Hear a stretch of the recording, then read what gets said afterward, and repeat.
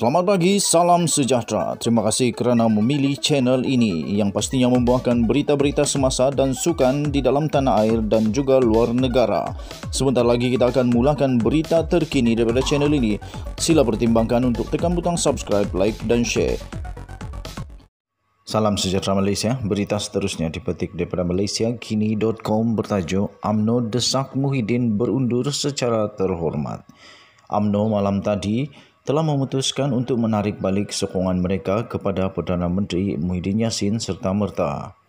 Presiden AMNO iaitu Ahmad Zahid Hamidi berkata, keputusan itu telah dibuat oleh Majlis Tertinggi AMNO berpandukan tujuh kegagalan daripada Kerajaan Perikatan Nasional PN sebelum ini.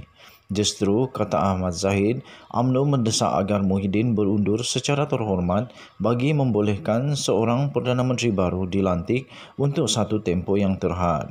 Katanya, tempoh Perdana Menteri yang baru hanya akan, akan hanya memfokuskan usaha membantu kebajikan rakyat sepanjang pandemik, menangani COVID-19 dengan pendekatan inklusif dan memastikan proses vaksinasi dan imunisasi dapat disegerakan.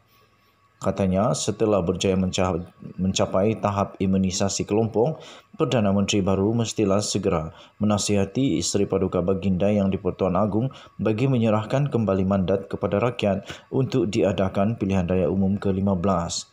Ini penting bagi membolehkan sebuah kerajaan yang benar-benar stabil dan memperoleh mandat majoriti rakyat diwujudkan sebagaimana terhasrat dalam tita Seri Paduka Baginda yang di Pertuan Agong, katanya selepas mesyuarat MT AMNO di Ibu Negara malam tadi. Sekian berita, salam sejahtera Malaysia, bye-bye.